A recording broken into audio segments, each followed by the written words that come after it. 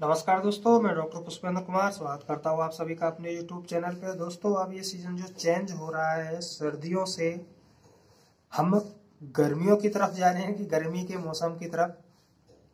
ये जो बदलाव हो रहा है, सर्दियों से गर्मियाँ आ रही हैं तो इस समय जो जुकाम, खांसी, हाथ पैरों में टूटन, ऐसा लग रहा है जैसे एक वायरल हो रहा है, इसमें जुकाम भी है।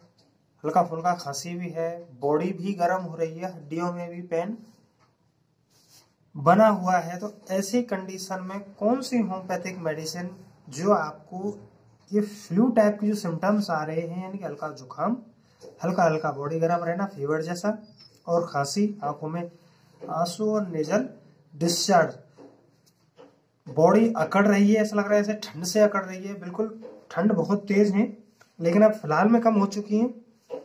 तो उसको हमेशा यही कि सिर्फ़ ठंड से ये चीज़ें हो रही हैं, ऐसा भी मानना बार बार गलत होगा। मौसम चेंज हो रहा है फ्लू जैसे सिम्टम्स आ रहे हैं।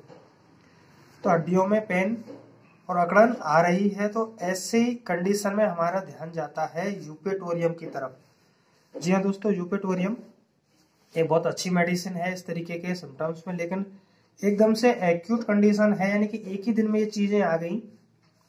और जनवरी का थर्ड वीक लगभग स्टार्ट हो गया है। तो ऐसी कंडीशन में अब दिन का तापमान है वो बढ़ रहा है और रात का ठीक ठाक अपने ठंडे मौसम में बना हुआ है। तो ऐसी कंडीशन में जो होम्योपैथिक मेडिसिन इस समय सबसे ज़्यादा बेनिफिट दे रही है, वो है दोस्तों ओसीमम सेक्टम का मदर टिंचर ओसीमम सेक्टम यानी कि तुलसी। ऐसे सीज़न में आपने देखा होगा कि तुलसी के पत्तों को हम गर्म पानी में या अपनी चाय में डाल के चाय बनाते हैं और पीते हैं तो उससे काफ़ी राहत मिलती है। तो ये मेडिसिन उसी से बनती है ओसिमम सेक्टम का मदर टिंचर पाँच से दस बूंदे आप एक कप गर्म पानी में डाल के पिए। बच्चा है तो दो से तीन बूंदे, दो तीन चम्मच पानी में आप ला सकते हैं। बहुत अच्छे रिज़ल्ट देगी। दिन में दो से तीन बार ये लीजिए।